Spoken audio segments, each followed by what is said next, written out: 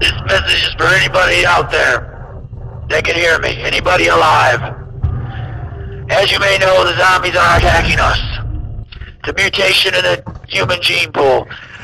The mutation may be spreading to dogs, so watch out for them. Be careful. Stay away from major cities. They seem to swarm there. If you have to travel at night, stay out of the light. Stay indoors. The military has been able to drop some uh, supply crates, ammunition, guns, and grenades. Do what you can to get there. Do what you can to survive. If you can't get to a desolate area like a swamp, mountain, desert, somewhere hidden, the military still has a stronghold. It's in a swamp. We're trying to keep it hidden from the zombies. You can!